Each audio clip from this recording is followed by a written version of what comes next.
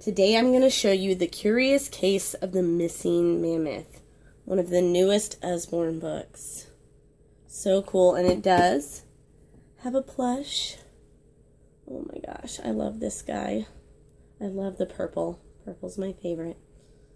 So cute, and I know that Robert liked him because he has a trunk, and Robert likes elephants. So I thought that was pretty cool. Well, this book is really cute. They're actually looking for a missing mammoth. It has flaps. It's actually kind of similar to Nibbles in the way that it has flaps throughout the book and different things. Um, so they're looking for a missing mammoth, and he's headed to the museum. So throughout the book, big, big fold out another really, really big fold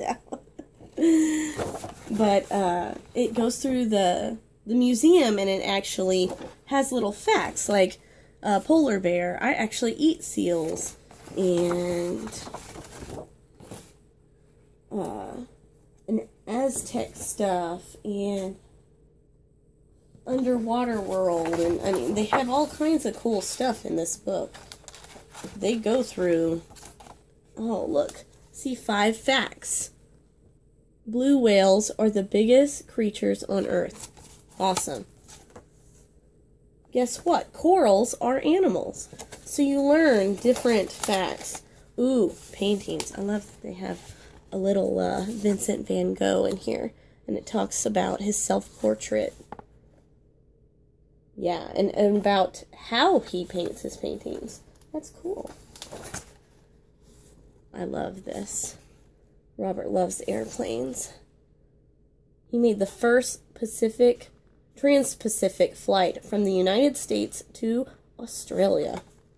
So I think I just thought this was really cool because it has lots of facts. Kids love little facts, dinosaurs, a whole museum. They go through looking for this guy, and they finally find him asleep. And so they take him back. And then the guy is like, I'll see you next, I'll see you tomorrow. So it's really, really, really cute. Uh, Robert really liked all the little facts, especially about the dinosaurs and the planes. So, anyways, that's all for today, you guys. Happy reading!